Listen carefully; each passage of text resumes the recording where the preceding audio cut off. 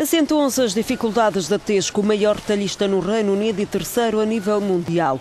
O grupo avança para o terceiro ano consecutivo de prejuízos, a dívida subiu no segundo trimestre e o buraco contabilístico descoberto recentemente é maior do que o previsto, atingindo 263 milhões de libras. Duramente criticado pela gestão desde 2011, o presidente Richard Broadbent apresentou a demissão. Nick Stanojevic, analista financeiro, defende. A mudança na gestão é boa para a Tesco era uma companhia com uma estratégia virada para o crescimento. A cota de mercado recuou. Por vezes é necessário uma mudança de direção para passar de uma política de crescimento para uma de rentabilidade. Tesco continua a perder clientes para lá da concorrência. Há uma mudança nos hábitos do consumo, como explica Natalie Berg,